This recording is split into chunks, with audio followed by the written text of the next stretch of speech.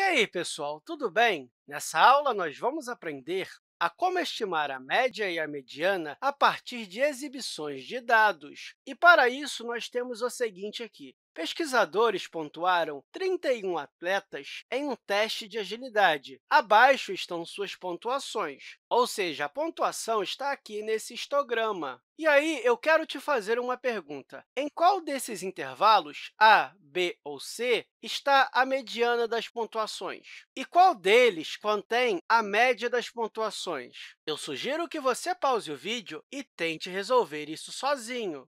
Primeiramente, vamos começar com a mediana. Lembre-se, a mediana é o termo central se você tem um conjunto ímpar de dados ou é a média aritmética dos dois termos centrais caso a quantidade de dados seja par. E observe que temos 31 atletas, o que significa que a amostra é ímpar. Portanto, a mediana é o termo central. Mas qual é o termo central se você ordenar os dados do menor para o maior? Bem, você teria 15 números de cada lado. Com isso, o 16º termo seria o termo central. Então, a mediana é o 16º termo. E aí, devemos olhar para o histograma e ver qual desses intervalos contém o 16º termo. O intervalo C contém 13 termos, que são os termos mais altos, e o intervalo B vai do 14º termo maior até o 18º. Portanto, a mediana está no intervalo B. Ela contém o 16º termo. Isso porque eu somei a quantidade de atletas dessas duas barras e deu 18.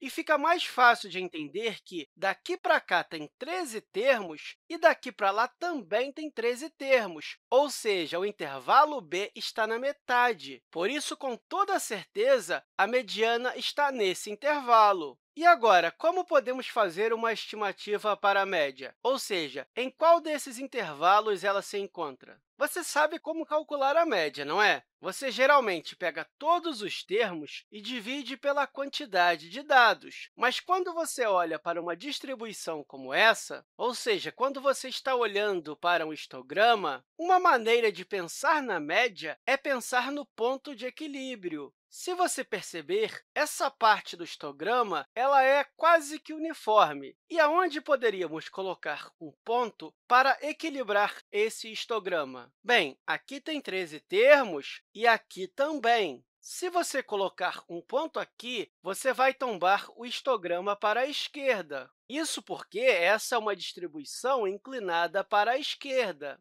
Para equilibrar o histograma, você deve mover o ponto de equilíbrio para a esquerda. Portanto, o ideal seria você testar mais ou menos nesse intervalo, já que nós só estamos analisando os intervalos a, b e c. Então, provavelmente, aqui está a média. Portanto, é importante você saber que, nesse exercício, nós não queremos saber a média exata, nós só queremos uma estimativa. E, nesse caso, quando a distribuição é distorcida à esquerda, a média geralmente vai estar à esquerda da mediana. Agora, se você tivesse uma distribuição distorcida à direita, a média estaria à direita da mediana. E mais uma coisa, quando você tem uma distribuição simétrica, a média e a mediana são muito próximas uma da outra. Ok, vamos fazer mais um exemplo. Abaixo temos as idades de 14 pessoas. E eu quero que você me diga aonde está a média e a mediana, ou seja, se está em A, B ou C. Eu sugiro que você pause o vídeo e tente descobrir.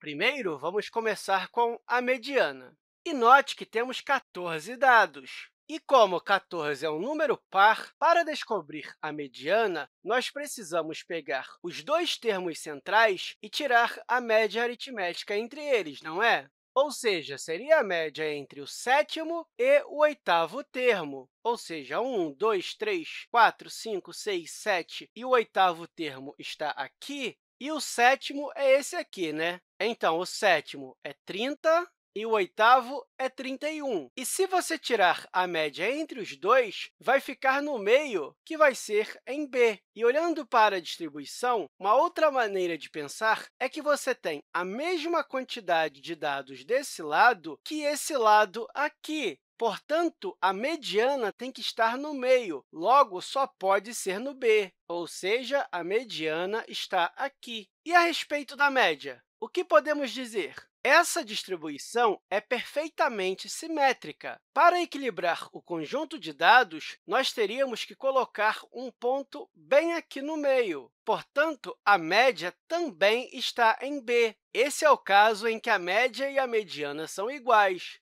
E eu espero que essa aula tenha te ajudado e até a próxima, pessoal!